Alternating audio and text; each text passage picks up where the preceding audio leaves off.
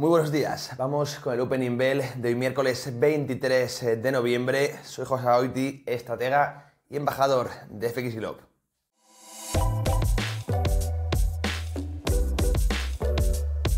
Bueno, arrancamos este desayuno bursátil, ya sabéis, café tostadita, tenemos una sesión por delante muy muy interesante, ayer mucho movimiento, un poquito más de lo normal, con subidas fuertes en Wall Street, hay poco volumen, ya lo sabemos esta semana, al ser festivo mañana por acción de gracias, una semana más corta, muchos operadores estadounidenses eh, de vacaciones, por lo tanto hay poca contrapartida y, es fácil hacer este clase de movimientos bullish como los que vimos ayer en bolsas, sigue cierto optimismo en los mercados eh, pensando en ese pivot de la banca central, ese prematuro pivot de la banca central y por tanto la euforia pues continúa dominando los mercados.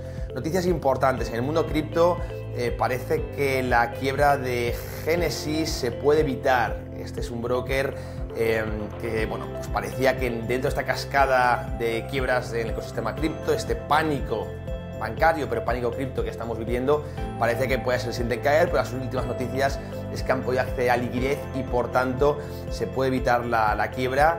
Estamos viendo subidas eh, bastante mm, llamativas ¿no? en Bitcoin y Ethereum. Insisto, después de esta noticia, veremos si es real. De momento son todos rumores. Evidentemente, si finalmente cae eh, Genesis, pues sería un shock. Eh, o un crash bastante importante para el ecosistema cripto, pero parece que finalmente, insisto, se puede salvar. Yo tenía mucha preocupación, la verdad es que conozco a más conocidos con cuentas en el, en el exchange, así que, veremos en qué queda todo. Muy atentos, insisto, a las próximas horas en el mundo cripto. De momento muy correlacionado con la, con la bolsa, subidas importantes. Cuidado, ayer tuvimos... Em, eh, bueno, un movimiento bastante hawkish de Nueva Zelanda. Estamos muy pendientes eh, porque, insisto, estamos viendo como eh, Canadá, como, como Australia están adoptando ya pivots, están bajando un poco o, quitando el pie acelerador en su política monetaria, sin embargo, subida de 75 puntos básicos que sorprendió a, todos. Está subiendo bastante fuertemente el kiwi, eh, la moneda neozelandesa, eh, y manda un mensaje claro al resto de bancos centrales. Antes os estaba comentando que el mercado está descontando em, pues esa moderación en la política monetaria, sin embargo, ayer, insisto, el mensaje contundente de Nueva Zelanda con subida de 75 puntos básicos lleva los tipos de interés al 4,25%. Veremos si se queda en una cosa puntual de Nueva Zelanda o si realmente no es verdad que el resto de bancos centrales estén pensando en, pivotar. Desde luego, eh, bueno, cosa a tener en cuenta. Y en la madrugada, noticia creo que más importante. Y dentro del sector empresarial, ayer muy buenos datos, muy buenas cifras eh, de Best Buy dentro del eh, consumo minorista, dentro del mercado minorista.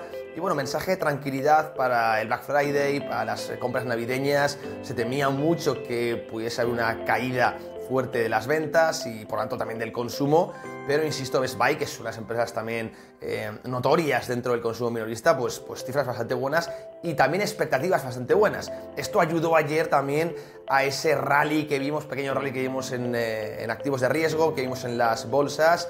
Influye un poco todo, el poco volumen y los buenos datos de Best Buy pues más la tendencia de corto plazo que es alcista, eh, todo a favor para que viésemos una sesión ayer eh, tranquila. Sin embargo, estamos viendo patrones técnicos de, agotamiento. De hecho, en Trading Pro ya estamos pensando en eh, abrir posiciones cortas, intradía, posiciones de scalp, para buscar cierta recogida de beneficios. Esperamos una sesión de poco volumen también hoy. Recordar que a las 8 tenemos quizá el dato, 8 pro española, el dato más importante de la semana, que son las actas de la FON. Vamos a ver ahí un poco esas dudas que tenemos de si la Reserva Federal será hawkish como fue Nueva Zelanda, el Banco Central de Nueva Zelanda, o si finalmente irá a esa línea de pivot. Lo sabremos en poquitas horas, lo estaremos comentando como siempre en FX Globe. Tengan buen negocio, como siempre, disciplina y gestión monetaria. Nos vemos mañana. Saludos.